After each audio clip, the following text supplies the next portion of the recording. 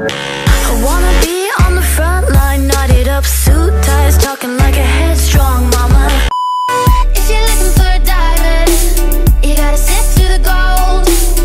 If you're searching for a way out, you gotta take the new road. If you don't keep the motion moving, can feel the same. Hey guys, it's Rachel and welcome back to my channel.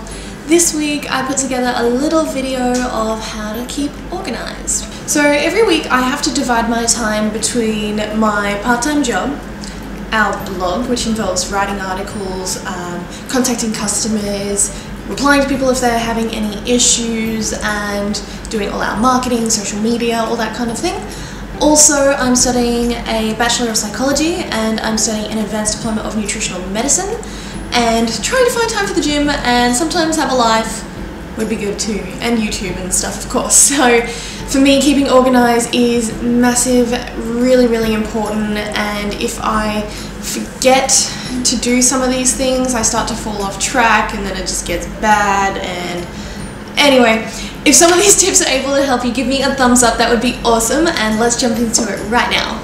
So any important dates I like to put up on a little note wall. I grab some brown card and a marker and I just write what's due on what day and I have these little pegs that I got from a craft store.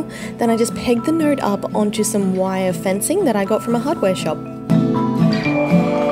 Instead of a to do list, I have a to do book. So I have a calendar diary, and whatever needs to get done on particular days, I write that down. If there's something that you don't get done on that day, move it over to the next day. So eventually it does get finished. Wait a minute, baby. Now, I like to use my phone calendar for things like assignment due dates because I find it's really handy with the alarms that I can set up. I use Sol Calendar, that's S O L calendar. It has a little to do list if you need it, and then in the calendar, I like to be able to customize it. You can put pictures in, you can put symbols in, and then I like to set a couple of alarms. So, one on the day, and one about a week or six days or so before the actual assignment is due. I don't know what to call this, so I'll just call it my scribble book. I always have two of these with me, one for general stuff and one for blog related things. Anything I think of, I just put it down in there. So, blog post ideas or website page ideas, anything like that just goes in this book. I thought I'd show just how I keep my uni notes organised. If you want a full video on this, let me know. In the back of my book, I put the dates of the weeks and what we're up to in that week, and if there's anything due, just so I have a whole timeline there. And then with all my research and everything, I like to put all my references at the top and any individual points underneath that, including all the page numbers. So when it comes time to write my assignment, everything is right there for me. If you have any of the same weird habits that I do, let me know in the comments below. That would be awesome.